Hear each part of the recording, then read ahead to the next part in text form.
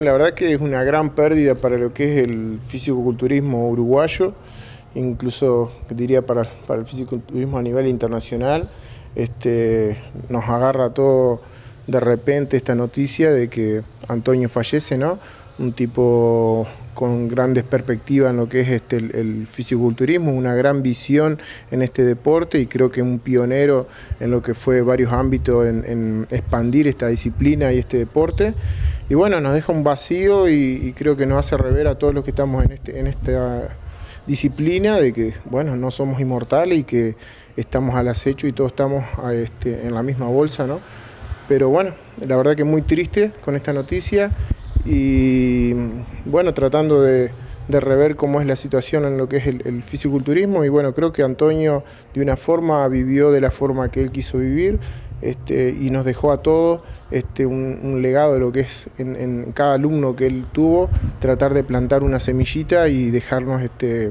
el camino a seguir, ¿no? Siempre venía Frei que podía, de hecho varias veces estuvo entrenando acá. Sí, la verdad que sí, él era muy asiduo acá, ya desde el 2000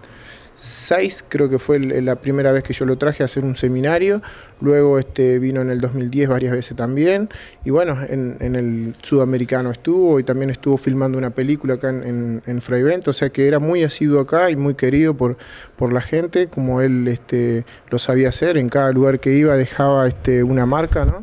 Y bueno, Sí, la verdad que sí. Se rescataba eso, ¿no? El, el, el don de, de, gente, su humildad, a pesar de, que, de haber llegado a lo, a lo, más alto en el fisiculturismo. Sí, sí, la verdad que esa es una de las cosas que yo recato como amigo de él, este, que a pesar de, de su gran este, fama como culturista y como campeón mundial, dos veces campeón mundial, este, se destacaba por la humildad y por ofrecerle a todos los atletas que podía una mano, indicándole el camino a seguir y tratando de apoyarlo en todo lo que él podía, ¿no?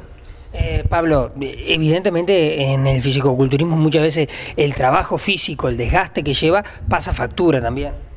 Sí, sí, es un deporte muy extremo, este, de mucha dedicación y creo que en el nivel que lo hacía Antonio es un deporte que empezamos a correr determinados riesgos. Creo que cualquier atleta que hace algo a un nivel este, avanzado o digamos a un nivel profesional corre riesgo y bueno, este, Antonio no era este, la, la excepción, ¿no?